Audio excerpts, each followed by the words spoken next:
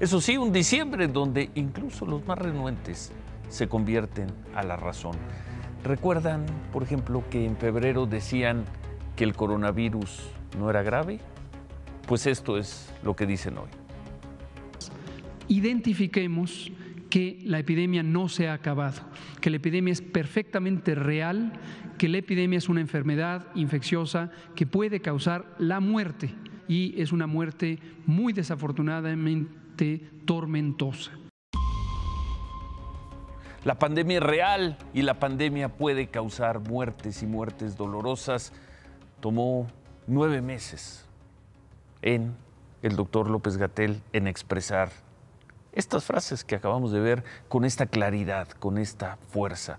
Por supuesto que es una enfermedad, es una infección, es una pandemia muy grave que ha cobrado muchas vidas y además, y aquí lo hemos visto en estos meses, vidas de manera, muchas de ellas de manera muy dolorosa. Este es el dato reconocido por las autoridades de mexicanos que han muerto, muchos de ellos de manera muy dolorosa por coronavirus. En las últimas 24 horas, 671 y esto eleva el total a 112.326 personas reconocidas por la autoridad. Hay cálculos que llevan esta cifra dos veces más arriba. Por eso quedará para siempre el gran signo de interrogación, la pregunta de cuántas de esas muertes se habrían evitado si el doctor López Gatel hubiera hablado en un principio como lo hizo hoy pero en un principio el doctor López Gatel decía esto. No se necesita tener hospitales designados. Eh, esto es importante también. Hay mucha mitología en lo que hemos escuchado en la prensa internacional de que se necesitan construir hospitales especiales o tener centros exclusivamente para el coronavirus. No. El coronavirus nuevo 2019, como lo hemos dicho desde el inicio y sigue siendo vigente esta realidad, se comporta como una enfermedad respiratoria de moderada a, eh, baja eh, gravedad.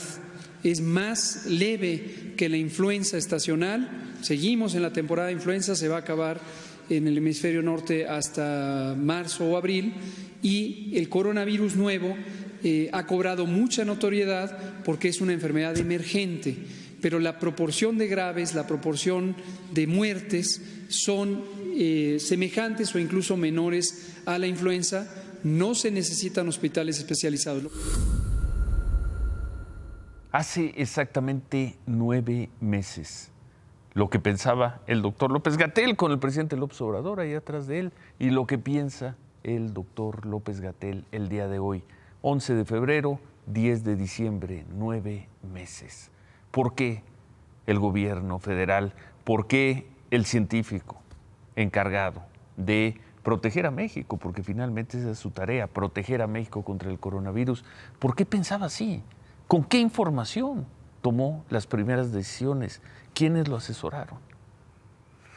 Por fortuna, y si se puede decir que es por fortuna, nueve meses después, el doctor López Gatel ha rectificado y ha rectificado con claridad. Lo hace en un día en que los contagios siguen al alza y cuando la curva de contagios, pues qué decir, vean dónde estaba hace unas semanas y dónde se encuentra hoy. Tuvimos otro día con más de 10 mil contagios, 11 mil 897 en las últimas 24 horas para ser precisos.